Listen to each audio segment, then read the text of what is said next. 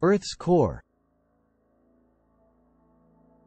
The Earth's core refers to the innermost part of our planet. It is a sphere primarily composed of molten iron and nickel. The core is divided into two distinct regions, the outer core and the inner core. Outer core. The outer core is a liquid layer that surrounds the inner core. It extends from a depth of about 2,900 kilometers, 1,800 miles, to 5,150 kilometers, 3,200 miles, below the Earth's surface. It consists mainly of liquid iron with smaller amounts of nickel and other elements. The outer core is responsible for generating Earth's magnetic field through a process called the geodynamo.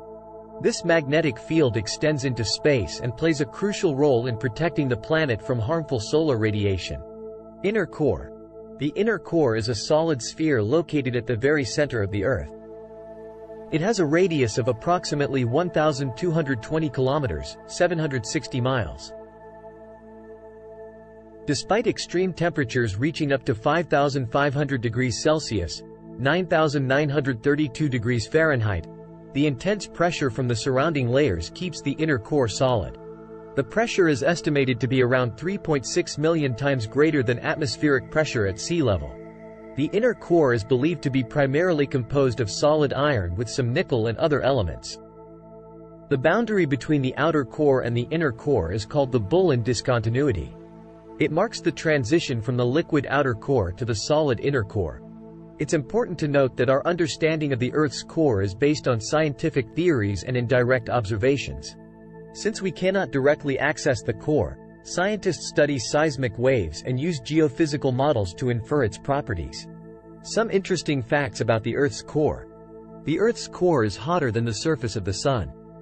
The outer core's movement generates Earth's magnetic field, which acts like a giant magnet. The inner core is solid despite its incredibly high temperatures due to the immense pressure it experiences. The core makes up about 16% of the Earth's total volume. The core's heat drives the movement of tectonic plates on the Earth's surface, causing earthquakes, volcanic activity, and the formation of mountains. The core's density is about 13 times greater than the density of solid lead. The inner core rotates slightly faster than the rest of the Earth. The temperature of the outer core is estimated to be around 4,000 to 5,000 degrees Celsius, 7,200 to 9,000 degrees Fahrenheit. Scientists believe that the Earth's core formed about 4.5 billion years ago along with the rest of the planet. The core's longevity is tied to the overall lifespan of the Earth, which is estimated to be several billion years into the future. The energy that sustains the core comes from the residual heat left over from the planet's formation and from the radioactive decay of elements within the Earth. Over time, however, this heat will gradually dissipate, causing the core to cool down. As the core cools, its movement and the generation of Earth's magnetic field will slow down. Based on current scientific understanding, it is projected that the core will continue to exist and function for billions of years. However, the precise timeline and future behavior of the core are subjects of ongoing research and are still being explored by scientists. Thanks for watching. Subscribe for more miraculous videos.